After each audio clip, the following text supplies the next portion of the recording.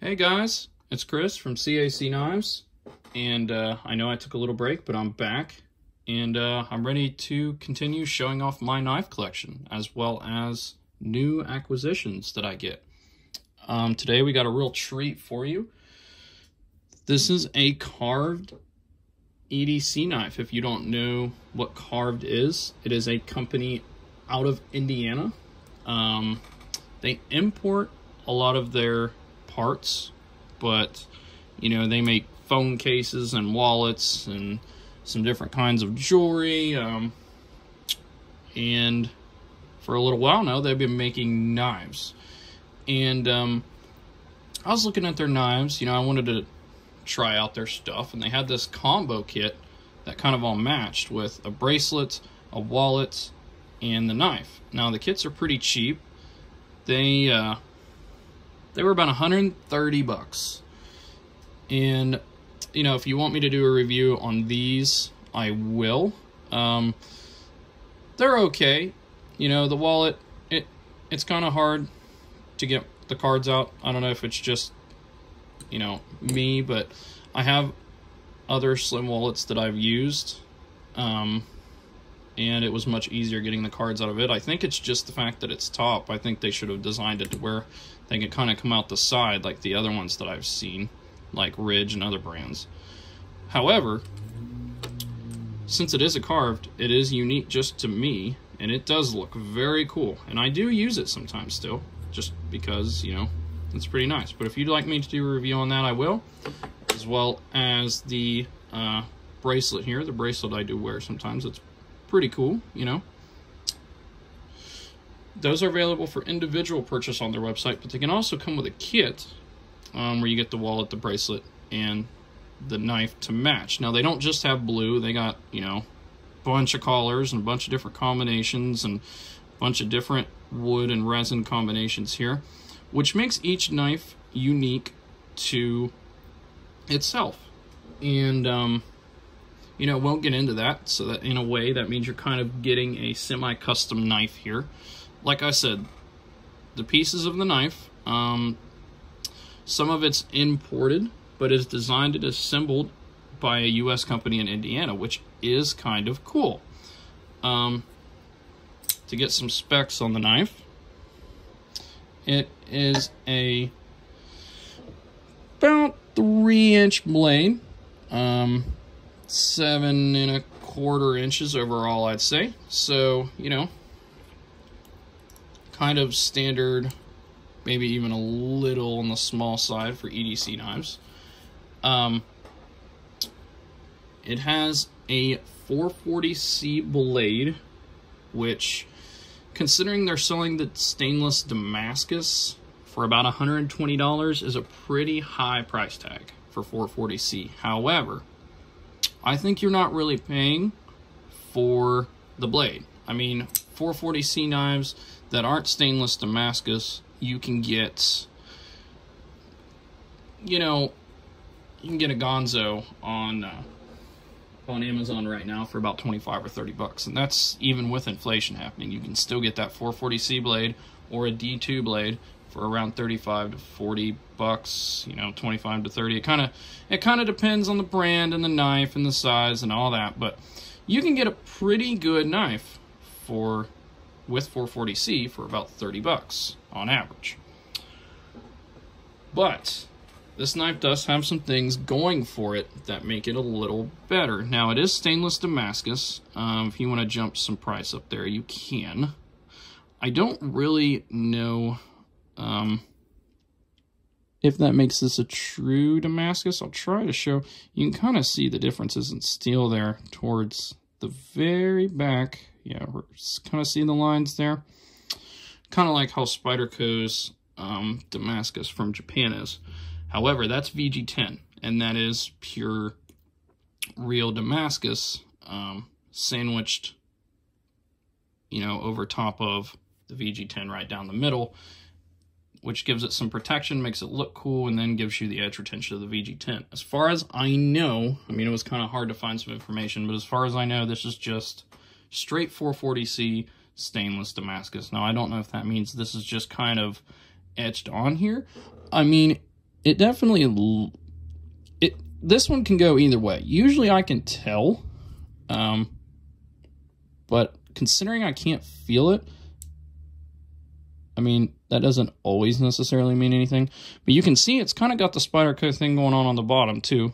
Um, you can see it better on this side. See how it's got the Damascus? It stops when it gets close to the blade. So I'm thinking the Damascus is real. Um, it's just really, really, really stainless um, to the point where you can barely feel it. And uh, it's so light in some places that you can barely even tell that it's there. However, it still helps the knife pop. And for 20 bucks, you know, for the added rust resistance, I would recommend putting it on there. Plus, it makes your knife look cooler, unless you're a, you know, Damascus hater.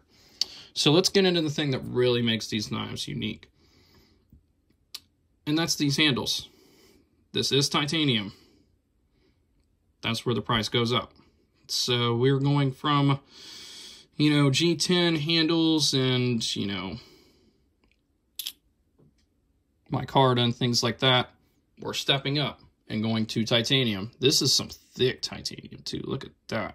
Oof. Some thick boys there and a titanium pocket clip as well. Giving you, I mean, if you want to kind of customize this side to match your resin by anodizing it, I mean, you can definitely do that at home if you want to including the pocket clip, because like I said, it's also titanium. It is a frame lock, um, and it's, I mean, it's pretty smooth. It's, I mean, it's not like drop shut by any means. It's kind of hard to, to do it on the camera here, but it's pretty smooth. Um, you know, I'd say on smoothness, it's like, you know, a 7 out of 10. Um, The resin is custom to each knife. You will not see a knife that is exactly the same as this, not with this exact wood resin combo. It's very cool looking. It's very unique looking. Um, you can get custom resin knives, but they're not going to look near this good. Now, I don't know if it's a chip or what, but I did have a little spot that came with my knife. I don't know if you can see it right there on the end. Um, but it's no big deal. I, I don't mind that. The rest of the knife is very clean, very well done. It's, you know, very snappy, very grippy. Feels good in my hand. Now, I am I wear large size gloves. And um, I think if you wear XL or bigger, this is going to be an issue. Because as you can see, it fits my hand like perfect. but I think if my hands were even just a little bit bigger, you know, the end here would kind of start to poke me. I don't know if it would poke me that bad, but it'd poke me a little bit. Um, would I recommend this knife? Uh, yeah, probably. I mean, I think you're getting this knife solely for its looks and not necessarily its function. But of course, if you're getting a knife with a resin handle, you know, and a stainless Damascus blade with titanium, I mean, I always say that if you're getting a knife to use, I mean, in my personal opinion, unless you are really, really, really sketched out about your knife failing or something, which even expensive knives can fail. I mean, in certain ways, like, you know, blades can chip and you know, the locking mechanism can fail. That can happen on any knife. But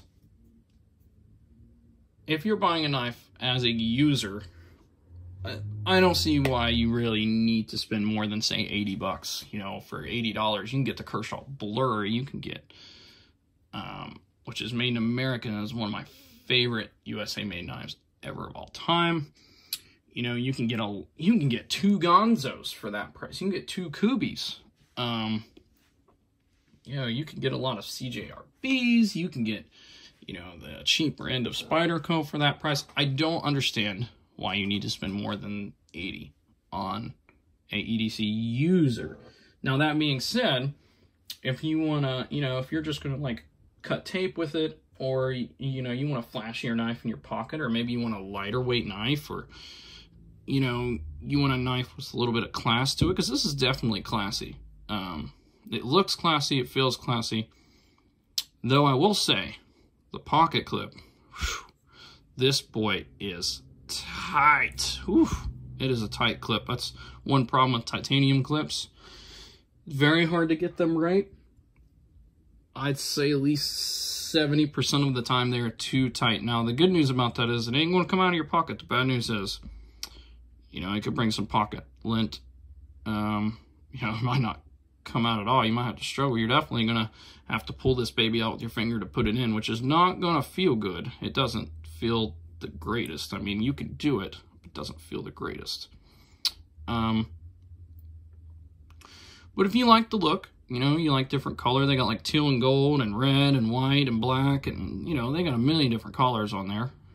And uh, they got some different patterns like hexagon with the wood and the resins between the wood, which looks pretty cool. I'll probably get another one in the future at some point. I'm hoping they come out with different models. I would like a different model. Um, I think they would get a lot of return buyers because the thing about knife collecting is there's so many knives and it's hard to get the exact same model again unless it is a fan favorite. Like I'll probably build a few Para threes or Para twos over my lifetime. But outside of that, I probably won't get any repeat knives, you know. That's probably about it. Um, but anyways, hey, thanks for stopping by, guys. Um, that is my review of the carved EDC folder. Um, if you wouldn't mind leaving a like, telling me what you think about it. Um, is this something you're going to be picking up? Uh, do you hate it? Do you think it's not worth its price? Uh, let me know and enjoy the rest of your day. Bye, guys.